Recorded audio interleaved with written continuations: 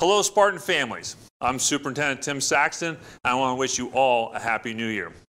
This video update is to share some information with you about a realignment for the Boardman School District that is being considered for next school year.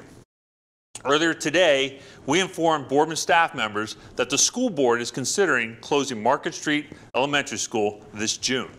There's been no board action, but the prospect of closing Market has been discussed in district-wide focus groups and strategic planning sessions that date back more than a decade. The board believes now is the time to move ahead with that plan. So what is the recommended plan? Market Street Elementary School would close at the end of this school year.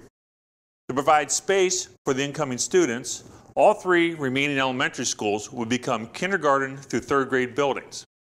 All fourth graders in the district would go to center making Center Intermediate a fourth through sixth grade building. While most may believe cost savings is the driving force behind the recommendation, cost savings is not the only benefit nor the greatest benefit. Ultimately, we believe this move will help us provide greater educational services to your child. How will that be done? This change will allow all elementary buildings to provide equal intervention services to students struggling in reading and math. This move allows us to provide even greater emotional and social supports and counseling services for students. And we can better balance class sizes across all elementary buildings. This change will not increase class sizes. This move bolsters our music and art programs, allowing earlier student access to our three music departments.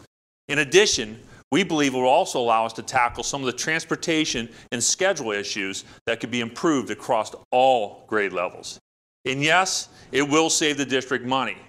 By reducing our building footprint and reassigning staff, we're predicting a half million dollar savings per year. Obviously, a big question is why now? First, please understand there is never a perfect time for a change such as this. Enrollment Financial and staffing factors are all in alignment for the move. And let's reflect back to last spring. The community asked us to, be, to stop being reactive financially and be proactive. That is what we need to do now. We need to be proactive and begin to save nearly a half million dollars per year. But with every great change comes many details, many plans, many moving parts. We're working vigorously to fill in the details. The basics are what we can provide now. Again, the basics of the recommended plan are Market Street Elementary School would close at the end of this school year.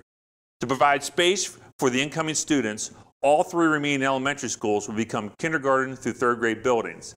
All fourth graders in the district would go to center, making center intermediate a fourth through sixth grade building.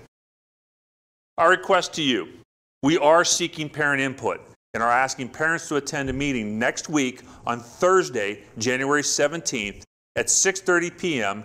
in the high school cafeteria. I realize this is a big change for the Boardman local schools and our community. I certainly realize that change can be difficult. Please know that the steps towards realignment are being considered with the future health and vision of the district in mind, but most importantly, the continued success of our students. Our goal is always the best possible education for our children in the most cost efficient manner for our community and our taxpayers. Thank you for your time.